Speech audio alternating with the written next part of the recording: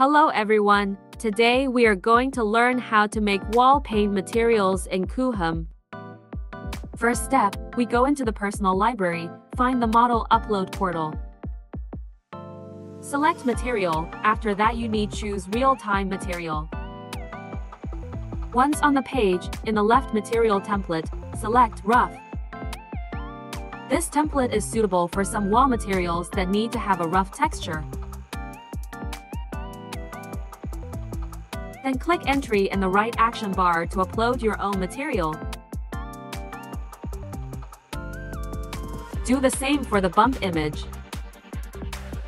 Like wall materials, we recommend the use of square form display. After adjusting the display style, you can adjust your bump value, depending on how noticeable you want the material bump to be. After that, please adjust your material size.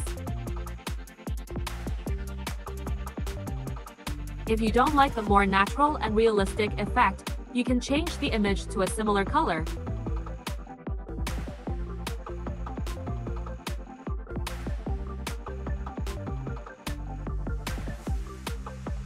However, it should be noted that if color is used, the bump value needs to be adjusted upward accordingly. Finally select Save, remember to select your material category. Go back to the project and find the newly made material. Then enter the perspective view, adjust the light and other parameters. You can generate a beautiful effect. Let's take a look.